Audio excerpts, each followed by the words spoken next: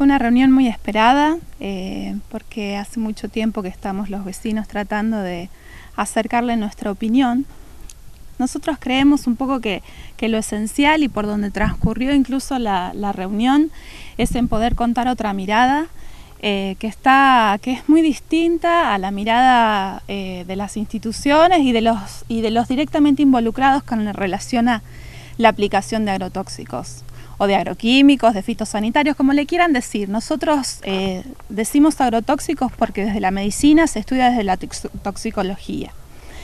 Entonces, em, en general, pudimos hablar de lo fundamental que nos parece a nosotros que es el eje conductor de todo lo que tendríamos que, que cinchar un poco como, como pueblo, como sociedad, que es poder llevar eh, a más distancia las aplicaciones de donde hay gente viviendo.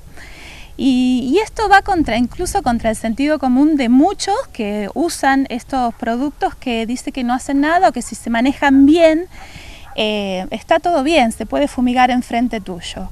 De alguna manera nosotros, eh, por eso es nuestra voz ahí, es una voz distinta. Para conseguir el derecho a que esta voz se sienta, hay que pelearla y hay que empezar a hablar y hay que empezar a discutirla. Y nosotros entendemos que desde muchos lugares se siga hablando de estas buenas prácticas, se siga diciendo que con eso está todo bien, pero también sabemos y de hecho trabajamos en conjunto con un sector de la ciencia que está, que está tratando de discutir esa noción.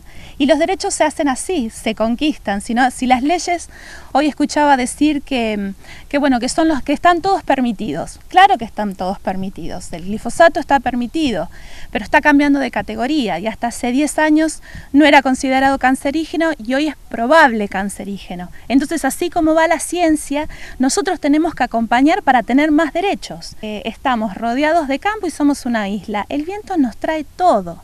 Nos trae suelo con partículas de productos y son distintos productos, es un cóctel, entonces estamos a la merced y somos un poquito bichos de experimento, de, experimentación, porque no sabemos qué puede hacernos a la salud ese combo de químicos. Así que 300 metros es poquísimo, pero lo tenemos. Entonces, y, eso significa que no pueden estar a cero metros. Nosotros como comunidad Trenquelauquen ha ganado los 300 metros contra todo un marketing, una manera de vender y de pensar los agroquímicos que dicen que a cero metros no pasa nada. Bueno, la comunidad de Trinquelanquen está un poquito más allá y hay que, de alguna manera, hay que afirmarse en ese paso ya dado para poder dar al siguiente. Pensamos, bueno, ¿por qué no, no miramos entre los vecinos eh, dónde ha crecido la ciudad, dónde han crecido los pueblitos, cómo ha cambiado nuestro territorio en relación a desde 2013 hasta acá. Porque hay lugares muy fáciles como la ampliación urbana, que no estaba directamente o casi no estaba. Entonces ahora es muy fácil de identificar que ahí hay un montón de gente muy expuesta. Pero hay muchos otros lugares. Entonces nosotros lo que le estamos pidiendo a los vecinos desde la página, y agradezco esta pregunta para poder eh, decirles que si ustedes viven eh, en, un, en, una zona que está muy pegadita al campo y ustedes ven que hay, que, que, hay olor o que hay máquinas, eh, cuéntenos dónde está, cómo va creciendo el barrio de cada uno, sobre todo los barrios que están en la periferia o, o fueron creciendo en este transcurrir. Que nosotros vamos a hacer un pequeño mapita y vamos a ir entonces con, con el territorio hoy a ver cómo podemos avanzar en esto.